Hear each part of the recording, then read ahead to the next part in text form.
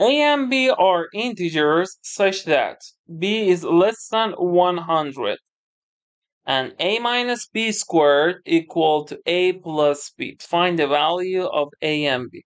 So if I rewrite the first equation, I can say a minus b squared equal to a plus b. For finding this, a minus b squared, we have identity that a minus b, and you should memorize, it is a squared minus 2ab plus b squared. And the right hand side is a plus b. Now I take all things to left hand side, a squared minus 2b, 2ab plus b squared. We had this on left hand side. Now we take a and b to left hand side, it will be negative a minus b equal to 0. Now, I want to, how we can solve a and b here? I want to watch this equation as a quadratic function in terms of a. So if I consider that, I can say, okay, it is degree 2, it is degree 1 in terms of a, and it is the constant term in terms of a three lines. So I can say it is a squared plus a, if we factor from a minus 2b, this one and this one, minus 1.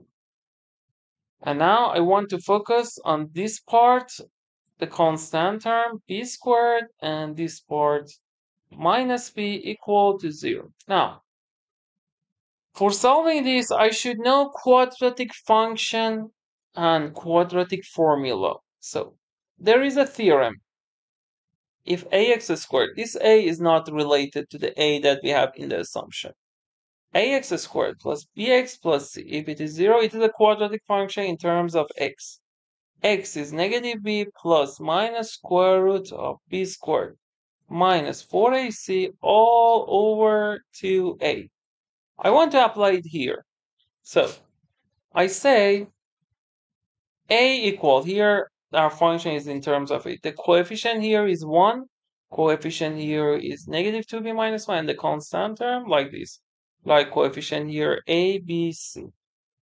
So if you apply this quadratic formula here, negative b, it will be negative negative 2b minus 1 plus minus square root of b squared here, this squared, and here it will be this squared. So it will be negative 2b minus 1 squared minus 4. a is 1, the coefficient here. C is b squared minus b all over 2a. And a here, sorry, is 1. So 2 times 1, which is 2. Now, I should simplify this formula. Let's simplify in next page. Okay, the formula is this. Let's consider the thing inside the square root. Okay, calculate that. Negative 2b minus 1 squared minus 4 times b squared minus b. Because it is a square, you can multiply this by negative 1 because it has no fx sign perfect square, both of them. 2b plus 1 squared minus 4. You can multiply 4 by this and this, minus 4b squared plus 4b. Now I should calculate this. You should use important formula. Let me write in terms of x and y because we have ab. It's a little better. x plus y squared, you should memorize this formula. It's x squared plus 2xy plus y squared. So if we apply it here, it will be 2b squared plus 2 times 2b times 1 plus 1 squared, and the rest is minus 4b squared plus 4b. So if I expand, it will be 4b squared. I calculate this plus 4b. 1 squared is 1 minus 4b squared plus 4b. Negative 4b squared, 4b squared will be cancelled. It will be 8b plus 1. So if I rewrite equation that I determine with star and replace inside the square root with 8b plus 1. So a equal to. If you apply this negative here, it will be 2b plus 1 plus minus square root of 8b plus 1 all over 2. So here we know 8b plus 1 should be a perfect square because 8 and b are integers. 8b squared should be a perfect square. Let's consider it t squared. In the assumption, it says b is less than 100. So we understand it is less than 100. And 8b plus 1 is odd. So if I want to calculate this, I can check, okay, t squared is can be 1, the only cases. So b will be 0. b cannot be negative because if b is negative, we know t squared. It should be at least 0. t squared can be 1 because it is odd or 9 or 3 squared, 5 squared, 25, 7 squared, 49, 9 squared, 81. We have these 8 cases, uh, 1, 2, 3, 4, 5 cases. If t is 1 squared, then b is 0. If t squared is 9, then b will be 1 to create 9. If t squared 25, minus 1, 24. Look, if 8b plus 1 is 25, you subtract by 1, 8b 24, and then you divide by 8, it will be b equal to 24 over 8, which is 3. So it is 3. The next one, similarly, 49 minus 1, 48 over 8 will be 6. 81 minus 1, 80 over 8, which will be 10. So we have these five cases. Now, in each case, I should calculate A. So let's go to next page. So let's calculate here. It will be 2b plus 1 plus minus. We said 8b plus 1 is t squared. Without loss of generality, t is at least 0. Plus minus t all over 2. Let me write. Okay. So let's check. In the first case, b is 0 and let's write like this. b is 0. This is first case. b is 0, t is 1, and a is what? If we use this formula, it will be 2b plus 1 which will be 2 times 0 plus 1 plus minus t, 1 over 2. 2 times 0 is 0, so it will be 1 plus minus 1 over 2. 1 plus 1 over 2 is 1, 1 minus 1 over 2 is 0. So a will be 1 and 0. Let's check. Okay, let's erase case 1. Let's focus on case 2. Case 2. b is 1 t squared is 9, so t is 3. So a will be 2b plus 1 plus minus 3 all over 2. So it will be 3, 2 times 1, 2 plus 1, 3, 3 plus minus 3 over 2. And it will be what? 3 plus 3 over 2 is 3 minus 0. So if b is 1, t is 3, a and B or A is can be 3 and 0. So we've considered second case. Now let's consider third case.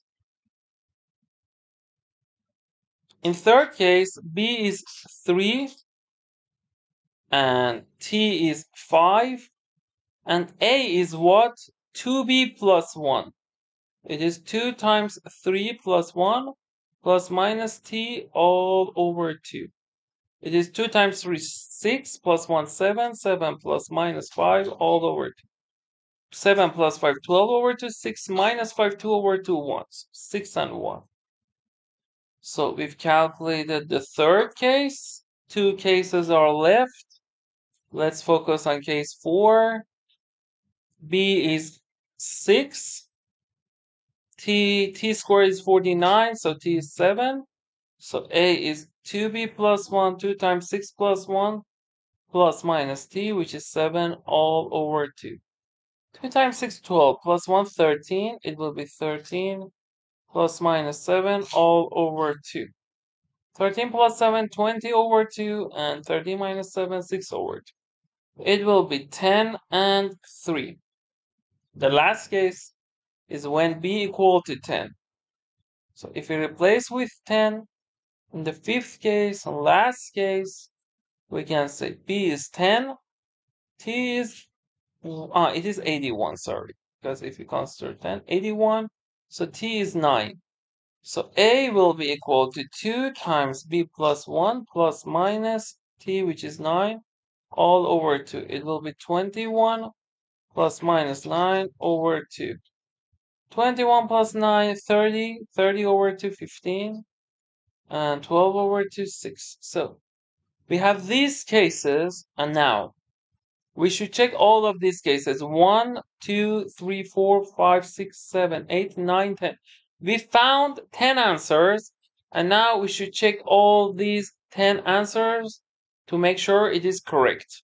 So please consider subscribing while we are solving the problem. a minus b squared equal to a plus b. So, okay, so a minus b squared should be a plus b. And our a and b are what? ab. b0, a is 1 and 0. So 1, 0, 0, 0. b is 1, a is 3, 0. So 1, 3, 1, 0 for b1. Hmm.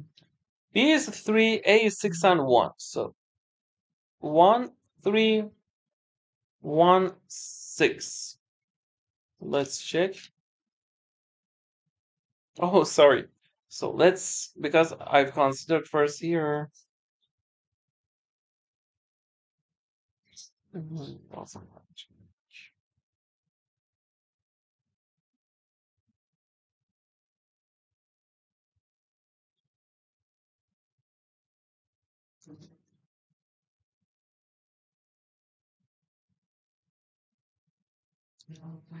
Okay, so let's consider the case B is 1, A is 3, 0. So 3, 0, B is 1.